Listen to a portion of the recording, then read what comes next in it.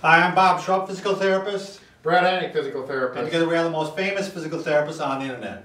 In our opinion, of course. And today we're going to talk about a crooked back. And uh, this is one that you didn't have all your life. We're talking about one that just suddenly came on and you were having back pain along with it. Right. So I'm going to show you one way it could look. I mean, it, basically your back is shifted over like this. How am I doing, Brad? Am I getting over there? Yeah, this is a nice shirt to wear. You must have wore this shirt from my fifth of mine because you got the vertical lines here, but you can see it goes way over.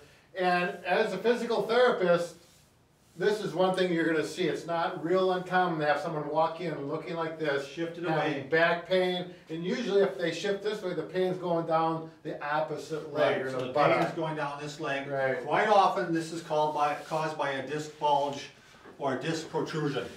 I mean, the disc is actually popping out and Yeah. causing you to go over. And if you don't correct that shift or that crooked back, Yeah. your back is not gonna get better, not very easily. I mean, they- these things will hang on forever Sure. if you don't get your back straightened up again. So we're gonna show you an exercise for doing that. Ninety percent of the people get better using this exercise, uh, according to McKenzie.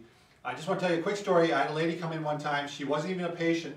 She came in, she was coming in to see another patient, she came in real crooked like this, and they didn't know what to do with her. They were gonna actually fit her with one of those turtle shells. Mhm, Yeah. I'm like, I had to step in and just say, listen, lady, you come and see me and I'll, I'll, get rid of this thing. Right. And we did. Within Yeah. two treatments, we got her straightened out and she didn't have to wear a turtle shell. But she had had it for months, Brad. It just wouldn't go away. Yeah. So we'll show the exercise. Again, you're shifted over. My teacher in McKenzie actually told me it's like you're carrying a pig. Because there's, there's room over here for, for carrying the pig. So with that, let's cut here and then we'll go to the wall.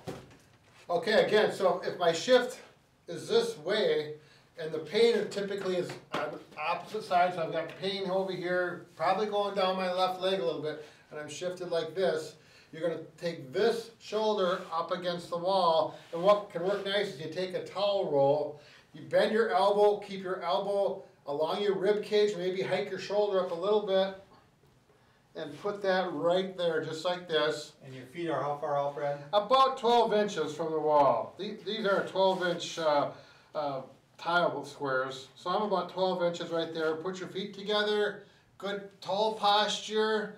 And then I like to put my hand right Yeah. here and I'm going to go this direction with my hips and you can see what's going on there. Now we don't have to go through what, what's going on with how it's correcting the disc, but it is going to help correct that crookedness and get into a straight back. And we're going to do 10 repetitions and you're gonna do that every hour, assuming, now if you do this and you get sharp pain the pain goes down your leg more and more, you need to stop doing it, it's Yeah, not ready exactly. for it. If you do this and by the first one it kinda hurts and then after about three or four, it starts to feel a little better and by the time you're on the tenth one, it's feeling pretty good, you're right on the money, then you wanna hit it every hour, ten times, and within a couple of days, you're probably gonna have that shift corrected. Any, any other comments? Well, the one thing I would say then is after the shift has been corrected, then you can go ahead and do, you know, um, and I'll put that up there, some of the, you can actually start bending backward then and start doing some back Right. extensions, uh, the exercises you might do for sciatica.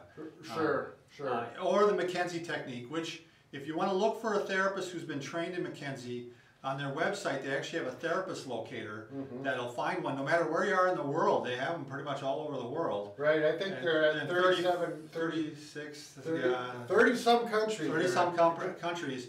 I'll put the website down here, it's uh, mckenziemdt.org.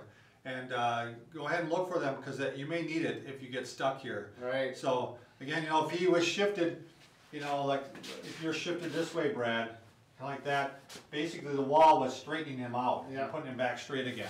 So, and it- you gotta get that straight before you're gonna get better. right, you better believe it. And so- the- probably most people are tuned out by now, Bob, but I really did have this happen to me about a year ago, and I was walking in, and my therapist, I came into work, and she said, look, your back is shifted, and I, I really didn't even know it. Right, a lot of times people don't know it. And she said, wow, and then I looked in the mirror, and it's like, yeah, it was crooked like that, so I started doing this exercise, and. Works, works like a Oh, charm. yeah. Watch this, Bob.